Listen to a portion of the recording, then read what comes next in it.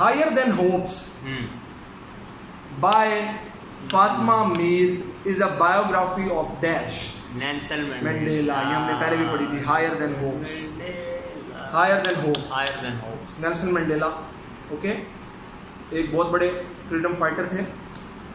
Thirty years no उन्होंने persecution में गुजारे. 28 eight 28 twenty okay Moving 28 on.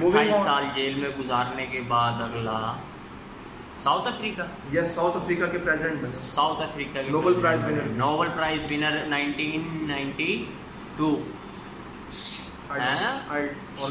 हाँ हाँ खान ने कब जीता इमरान खान ने Yes.